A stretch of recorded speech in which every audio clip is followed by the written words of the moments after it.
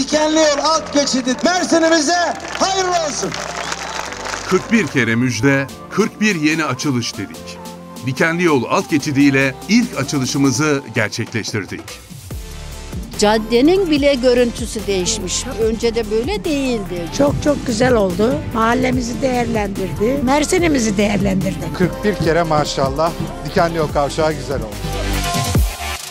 18. cadde ile 2. çevre yolu kesişimindeki Dikenli Yol alt geçidini 83 günde bitirdik.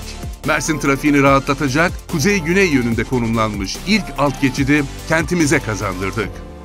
Dördüncü katlı kavşağı alt geçidi açıyoruz. Bizim önümüzdeki projeksiyonda hal katlı kavşağı var ve herkesin önemle beklediği saya katlı kavşağı var.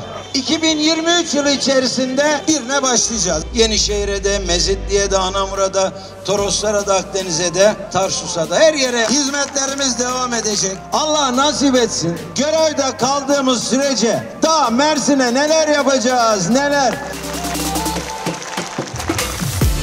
Ama bakın her şeyden öte çok kısa sürede en büyük eserimizi, mega projemizi hayata geçirdik. Nedir biliyor musunuz? Mersin barış kenti, kardeşlik kenti, sevgi, saygı kenti oldu. Bundan daha büyük proje mi olur? Vahap Seçer Mersin Büyükşehir Belediye Başkanı